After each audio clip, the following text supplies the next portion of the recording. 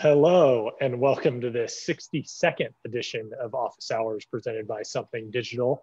We're doing something a little bit different today, something that we have never done and perhaps is a little more on brand.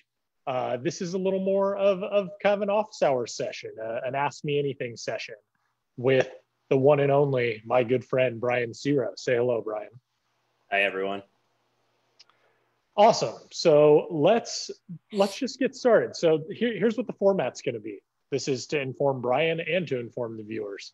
Basically, we're just gonna you know ask Brian some questions. The guy, we're he's uh, he has a lot of experience in this space in e-commerce. He has a lot of experience as a young professional. So why don't we just get started with that? Like, tell us a little bit about yourself, Brian. Tell us your background. Where are you from? Where'd you go to school? What was your major? How'd you get here? Yeah. So from Raleigh, North Carolina, I went to Elon University. Um, at Elon, I double majored in uh, two business disciplines. One of them was entrepreneurship, and the other was marketing. Marketing within Elon actually has the technology sales uh, focus. So I was able to take technology sales classes, and while I was still in college, get access to things like NetSuite and Salesforce, and train on those platforms, and also learn about how to sell those types of things. Um, so that kind of put me on the path to end up where I am today. A few software companies later, I'm now on the agency side. So, so let's let's make this clear. So you went to Elon for college, and the entrepreneurship program at Elon has specifically a technology sales the like the specialty. Mar- the marketing major does, yes. Um, and there's even they even had room setups where you could do like practice selling sessions and things like that. That's really cool. Uh, talk a little bit about that. Like, so does that mean that ever since you like did did you automatically declare that major as soon as you got to Elon? Did you know you were going to do that before? No, absolutely not. Um, I thought I was going to go into finance or something like that when I got to college, and then I took a couple econ classes, and that was the end of that dream. um, so I figured out uh, some other things I was interested in. Happened to uh, meet the entrepreneurship professor and uh, some folks in the entrepreneurship student organization, and uh, ended up spending a lot of time with that group and added the marketing tech sales focus uh, later on. That's funny. That's exactly what happened to me. Is I got to uh, I went to USC. I got there. I took two classes. My first two classes I took. One was essentially a real estate class because I thought maybe I wanted to be a real estate agent, and the other was an econ class, and I epically failed at both of those. Um, so I knew immediately that I shouldn't be a business major or a real estate major of any kind. Uh, so yeah. the same thing happened to me. Yeah, I, I, feel that pain. I hung on in those classes, but uh, yeah, it was pretty clear that a future was not in finance for me afterwards. Yeah, I having known you for like five years now, I can't imagine with your personality really being in finance of, of any kind take that take of that what you will audience. Yes exactly exactly. Um, so hold on. So you said that you got to college you um, you kind of interacted with on this entrepreneurship team or group and that's yeah, what kind of got you into yeah. Um, happened to actually it was through club tennis that i met somebody who was in the entrepreneurship organization and through there. I met them early on freshman year and ended up being the president of that organization a couple years later and never left it really. Okay, got it. And then so you end up in this entrepreneurship like at this point or what like you mentioned NetSuite and Salesforce, did you have any idea you were going to end up with a career in e-commerce at this point? No, uh, not really. Um, I think it's funny you look back, right? It's you don't really have a sense of what the job market looks like after college. You're essentially guessing. It's some some degree the same way when you're going to college, right, or making decisions later on in your career. You have limited information, and there are almost unlimited possibilities. So you have to operate on the information that you have in front of you and a heavy degree of gut instinct, and hope that you're right along the way. Yeah, I actually could not agree more with that. You like you graduated in what year? 2013. 2012.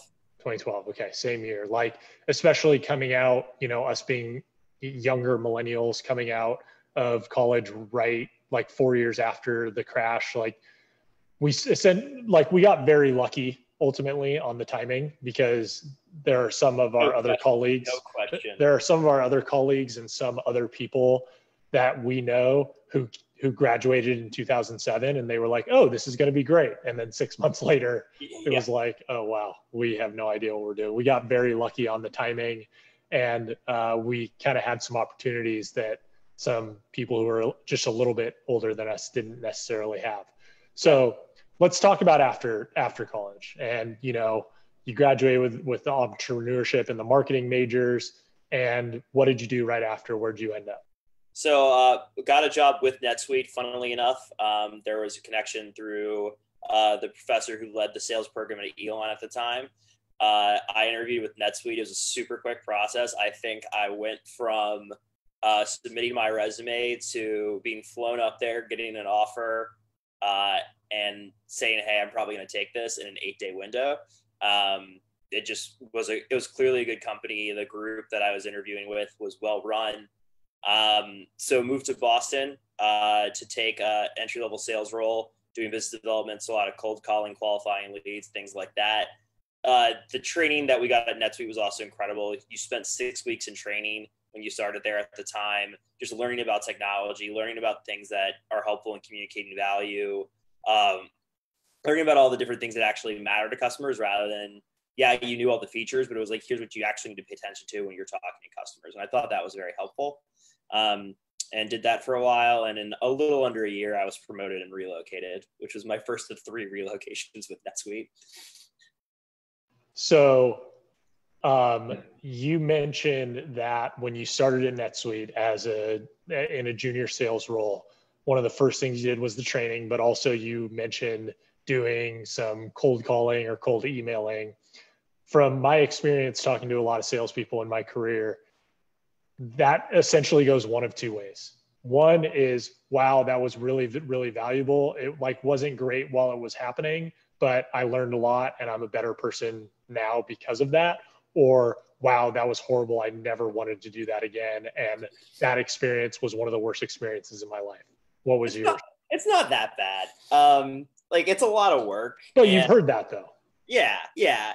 But the re- reality is is if you don't mind you know spending some days where you're not going to make contact there are frustrating days but i think any job has frustrating days.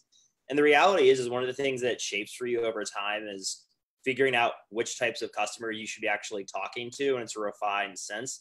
And as you get further along in your career you make sure that you're reaching out to people who may actually see value in hearing from you when you're first doing it, you're just following somebody else's guidance, but it's a good skill set to learn. It's really not that bad. And as you know, I still do that kind of outreach today, reaching out to people who I think could benefit from working with something digital. Yeah, I think like you've been with something digital for about seven months now. And anytime you're joining kind of a, a an agency or a smaller company, there's always value in having that skill, I think. Like, you mentioned that you were an entrepreneurship major. And so you know I, am sure that there's some part of you that that likes working at a smaller company because it kind of builds on top of of the things that you've learned. And so when you work at a smaller ish company and you bring that value it's like it's a really good skill to have i'm sure. Yeah. Well it also helps uh obviously biased here but i really enjoy working at SD so you know there's the uh it's it's easier to do some of the tougher things when you're actually happy with where you are. I could not agree more with that. So let's so we've gone through, you know, where you're from, we've gone through college, we've gone through NetSuite. Let's let's move into e-commerce now because because uh, you know we're we're we're talking a lot about you and and ultimately what we want from the audience here is to actually learn from you and learn from what your experience is. So after NetSuite, you moved to Magento, right? Yeah, there was a very short uh, stop over at a startup that I was interviewing pretty much as soon as I got there to leave. Um, and I was at Magento. Yeah, I went to Magento about six months after I left NetSuite. Okay. So, what was your favorite thing about working at Magento, and what did you learn uh, about e-commerce in your two and a half, three years at Magento? I learned an absolute ton. I was already working with e-commerce platforms at NetSuite. NetSuite has its own. Um, it's not the greatest platform in the world, but it's decent. So, and I got my foot in the door of learning about that. Um, the diving into the different use cases with Magento and just seeing all the different ways that people could modify that software, I think was a really valuable learning experience. It also gets you very quickly, it, you learn very quickly working at a company like Magento what people should do and what people shouldn't do and what the limitations of certain types of platforms are. And you get to the point by the time you leave there that you you hear somebody like oh i'm going to do such and such and such and such platform. You're like please please do not do that to yourself. It's going to be so painful. So you learn a lot of best practices. You learn a lot about the limitations of technology. Um, yeah i mean uh, there was quite a lot to learn there. And you know there's i could probably could have been there for a couple years more and still been learning stuff every day yeah i, I think that that's so one of the stories that magento constantly tells which is true is that essentially Magento is it's an open source platform. It is infinitely um, flexible. You can essentially do whatever you want with the Magento code and the Magento platform. But what you're saying is just because you can do something doesn't mean that you should do something. Yeah, it's uh, the old uh, Goldblum Jurassic Park quote, right? your scientists are too busy worrying about whether they could do something rather than they should do something. Yeah. And, and yeah. It's, it's just the same in technology. Occasionally you'll see people do things and you're just going, that was just not a good idea. Yeah. I mean, we've been in this business and, and around the Magento platform for five years now each. Um, and I, I, you know, we, we've heard things like, some of the things that I've heard is using it as like a rental platform uh, others is like a reservations platform of some sort, both of which are possible, but require some pretty serious customizations. And, and usually, usually, not always, when people hear the price of, of that customization, they don't necessarily move forward with it. Uh, what, are the, what are some of the crazier things you've heard about what people want to use Magento for? Yeah, so I mean, the ones you just mentioned, they're actually really signature use cases for both of them. But to your point, there was, yeah. I mean, there were thousands upon thousands of hours that went into those projects. Right. Um, uh, I think the craziest that I personally heard was actually not when I was at Magento, but was when I was at NetSuite. There was a company that built an ERP into their Magento instance. So they had a Magento built ERP essentially. Um, running on their site, which also, if you start to think about site speeds, one of the worst things that you can do is load your site down with an extra a bunch of stuff that doesn't impact the customer or the operations of the site in any way. And I, I was just thinking, man, this site is going to be so slow. And when they finally launched it, it was super slow.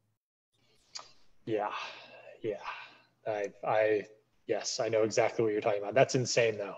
Coming, like creating an ERP out of Magento. That's that's bold. Yeah.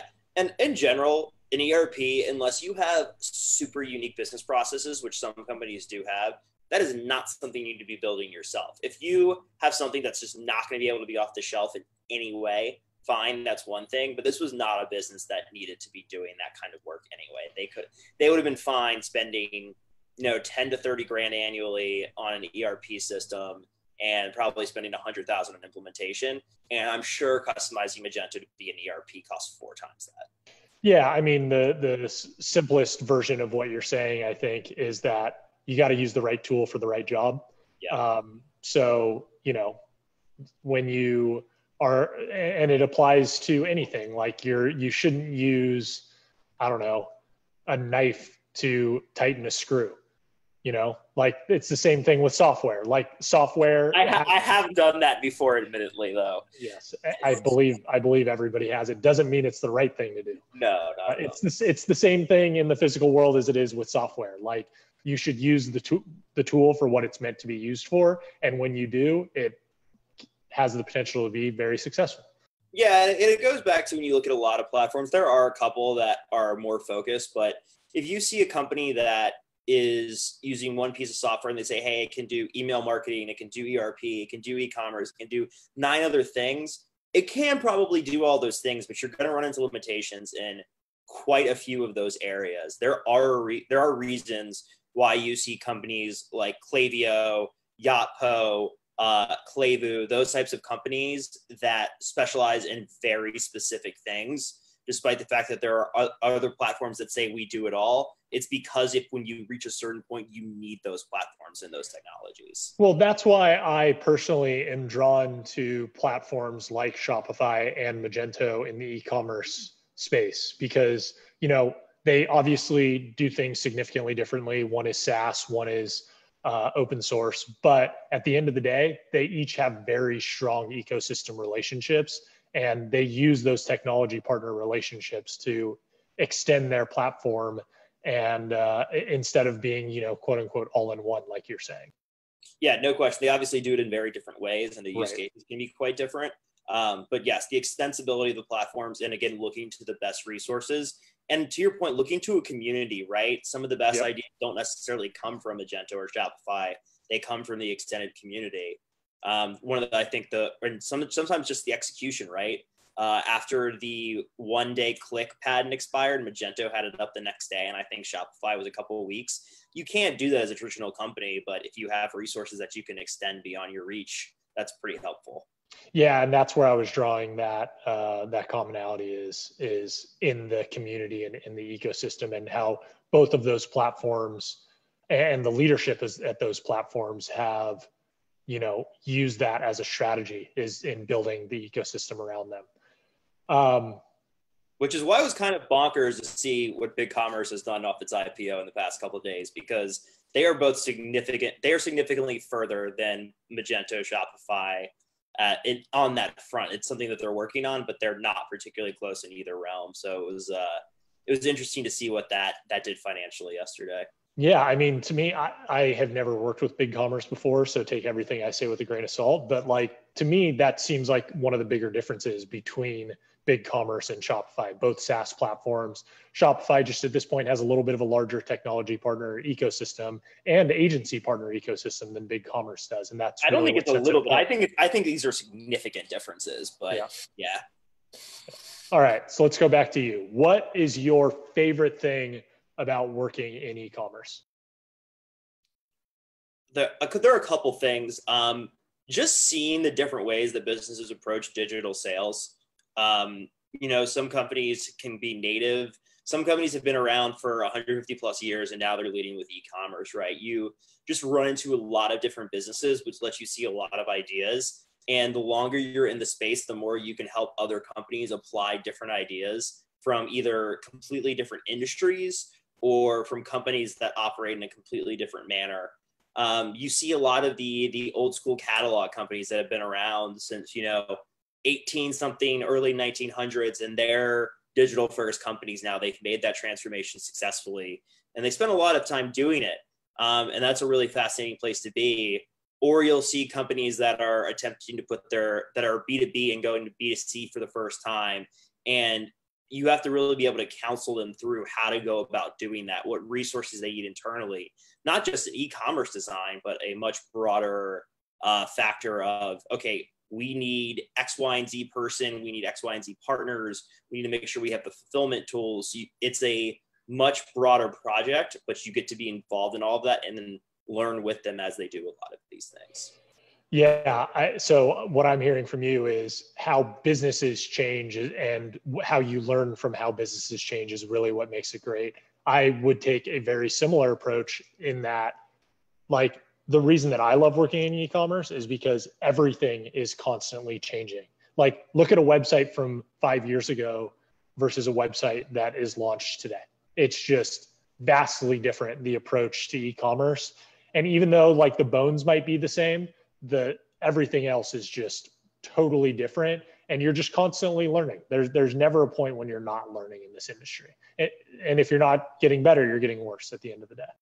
Well, NBC was on Future Commerce talking about their universal checkout that they had the other day. And if they stick the landing on that, that could fundamentally change not just commerce, but it could change the way that we ingest television and things like that. And it could even change the nature of the types of shows we're seeing. And that's a direct impact from the e-commerce side of things into other aspects of life. And that's that's a pretty unique thing. Again, we'll see if they stick the landing. It's been attempted before and hasn't gone particularly well. Um, but it sounds like they have their ducks in a row on this. Yeah, I mean, to me, the the the thing to point out is actually the least my least favorite person to talk about, but in this instance, it's kind of interesting. Is like Kanye West is planning to launch a new site this this month. That's from a design perspective is just totally different than any e-commerce site we've ever seen. Um, he's a crazy person, but you know that that's going to be pretty cool. That can also work for him and his brand, right? They can do something yeah. that's completely different, um, and people might put up with it. Even then, if it's just off the wall and not usable, people still aren't going to shop. Right, exactly. But at the end of the day, like I, I talk with Philip Jackson about this a lot. Like even if if nobody experiments, then at the end of the day, everybody should use just a templated site. But yeah. you have to have people pushing the envelope and you have to have people changing the experience, or else the experience is ultimately never going to change. So, like you're saying, even if this new website doesn't end up working out for NBC or Kanye or whoever it might be, um, the fact that people are testing and iterating means like that's what makes e-commerce great. And that's what we go back to is that it's constantly changing. People are constantly iterating. Best practice is constantly changing. Uh, so it, that's that's what makes it fun. There's never a dull moment. Yeah and uh, I, I think there are some potentially very interesting things that could be coming down the road i think you've heard me mention this before and i could honestly spend hours talking about this subject but I think the video game Fortnite has a huge opportunity if it wants to go this direction to be a huge player in e-commerce at one point. They have millions of people playing the game at any point. They have musicians coming on to the platform. People are using it as a social tool. So what we consider e-commerce could potentially be changing dramatically. So you'll see games like Fortnite and Roblox and things like that being commerce engines as well. And I think that's super interesting coming down the road. Yeah, and I, I, I'm looking back at what I said about Kanye, and I kind of feel bad about it. I, I shouldn't have said it the way that I said it. It was a little bit insensitive. So I just want to address that. That that wasn't the right way to say that. So, apologies. Uh, let's let's go to least favorite thing about working in e-commerce. You can never physically touch the product you work on, which is weird. It, you, there's you see the results of your craftsman, craftsmanship, but you don't actually ever get to physically touch it, which is weird. Hmm. Interesting. You kind of just blew my mind there a little bit. That that's that's kind of true. That's kind of true in in software in general, right? Like yeah, it's not specific to e-commerce. No, but I I I think it applies in e-commerce as well, right? Um, you can see the results, but and so many other things that most companies in the world they make or sell something that you physically handle. And if you're in a digital space of any kind that's just not true. Yeah. Hmm. interesting. All right let's go to this question. Uh, you obviously are talking like your job at something digital is director of business development. You're talking to merchants and prospects all day every day uh, what's one thing that you wish that your prospects knew in general? It could be about you, it could be about something digital, it could be about e-commerce, it could be about technology uh, that they that they often don't. I'd say there are a couple different things. Um, one is I think there are a lot of things that look really nice on a site or could potentially enhance the experience, but just have absolutely no ROI to them and that there will be instances where you'll counsel people and say, hey, this just doesn't actually have any value to it. So, one of the things I think is what is always make sure that you're thinking about the true impact of something on your site and whether it's worth the effort or technical expertise or customization that goes into it. Um, I think that's something that, especially companies building sites for the first time, that's ha- kind of hard to wrap their heads around. Um, I think as you do this twice, three or four times over, you know, a 15, 20 year span as a company, it gets easier. But the first time you're trying to build your e-commerce site, or the first time you're doing it as a as a marketing director or something like that, it's very easy to get caught up in the pretty lights rather than the stuff that moves the needle. Yeah, what's interesting about that is is some of that is tangible and some of that isn't. Like when you break down an e-commerce site, really the point of an e-commerce website is to sell something on said site, right? But at the same time, like everybody should be thinking about their brand and how they're Absolutely. displaying their brand. And so it, that that is not always obvious, right? Yeah, like 100%. you can have a mission statement for your brand, but like unless you follow that mission, then you're not really you're you're not getting anywhere. Yeah, and I still think to this day that's where some of the big box retailers' e-commerce experiences fall down. Um, if you go into, for instance, if you go into a Best Buy store, the experience there is usually pretty incredible these days, even these days actually. And their site is more just a electronics shopping store. And there there's obviously some gap there. And I think that's that can be challenging. Um, but again, I'm, I'm a huge fan of their in-store experience. I'd love to see that reflected more digitally.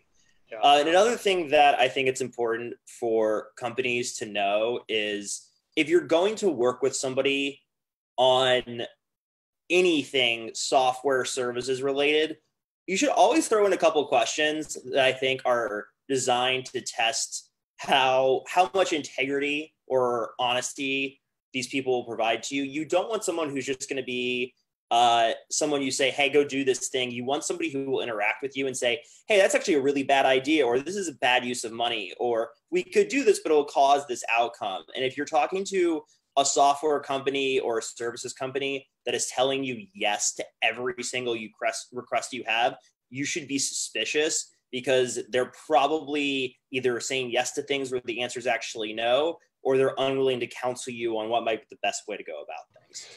Yeah, what I think is interesting and, and what I constantly tell people is that it is the people that we work with, the people that Something Digital works with, it's their job to be experts in their brand and experts in their messaging. And it's our it's our job to be experts in e-commerce. And those two things don't like they don't always overlap. So when we say something like you know this is this is the right thing to do in terms of e-commerce. Like their response could be well that's not the right thing to do in terms of our brand and vice versa. The, hey this is the right thing to do in terms of our brand and we say hey this is actually not the smartest thing to do when it comes to building an e-commerce site. So I, I, yeah it should be a conversation point. anybody who is not willing to give you the tough advice is probably not going to be there when problems occur either so you said that it's important to build trust there, right? So if if you were on the other side of the table, what's the questions that you would ask uh, an e-commerce agency uh, if you were the merchants, or like what are some of the red flags to look out for? I think you mentioned one of the red flags already, but yeah, I, I think so picking something that seems not very feasible or not very so instance you're a company that's never sold in the outside of the united states ever and you say hey we also want to build a japan site. We don't have any infrastructure inventory or anything like that over there but we think we could sell and even though our goods are $10 we think we could get people to pay 100 for shipping. Obviously that's kind of an outlandish example but something like that just just see what they say. Um, the other thing is you know ask honestly like why why do people work with you? Give me an example of somebody who worked with somebody else who came to you, and give me an example of somebody who left. Um, I, am not a huge believer in checking references because I think if a company can't come up with two or three examples of people who will say good things about them, that's probably an issue.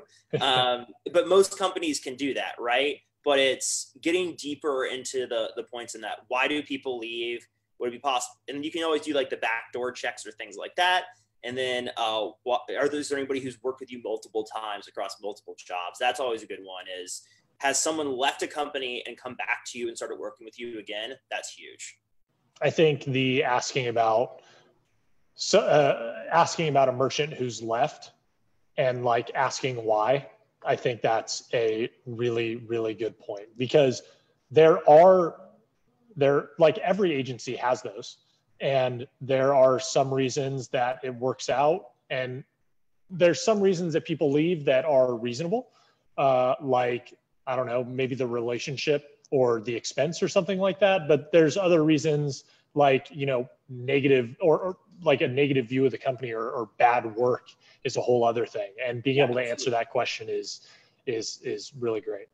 Yeah um, all right, last question here before we before I just kind of give you the floor to uh, uh, to talk about what you want to talk about. Um, e-commerce is constantly changing. Like, what are you doing? What do you do to keep up? There are an unbelievable amount of resources out there that are available to anybody who wants to stay in the know. We mentioned Future Commerce, Commerce already. That's obviously run by friends of ours. Uh, there's the Modern Retail podcast, which has a lot of interesting people on. There are so many written resources. There are things like Translates out there that, so if you just spend two to five hours a week making sure you're on top of things, a lot of these things are in podcast or audio form so you can you know go exercise and listen and gain knowledge. The other thing is you have if you're in the e-commerce world in any way shape or form you're lucky in that you're in one of the few industries where you get to interact with what you do on both sides of the equation. You can interact as both customer and as practitioner. So go to other people's sites go around see what's going on see what people are doing figure out what works figure out what doesn't. So I, I spend probably a couple hours every week just going to different sites than I normally do and seeing what they're doing that's interesting, what I like, what I don't like, um, and what some new things people may be trying out are. That's great. All right. You've been, I know it's not the easiest thing to, to talk about yourself, to talk about your background, to agree to something like an ask me anything, and you've been a really good sport. So I appreciate it. Uh, now I'll kind of let you talk about what you want to talk about. Uh, I guess, I guess, let me say this another edition of Winging It with the Bryans, but except this is just one Brian. Go. So there has been some talk of Klarna potentially being regulated in the UK. Uh, there is some thought that their buy now, pay later methodology could be predatory. And I think that would be an absolutely gigantic mistake if you look at the price point of so many products, especially in today's environment where you have in the US, you know, tens of millions of people unemployed, where people are struggling to make rent, uh, the idea that you can buy almost anything that you need and be able to pay it is important. Yes, there might be a few people who say, okay, well, I can't really afford this Xbox, but I'm going to buy it and pay for it over the next four months. I'll figure it out.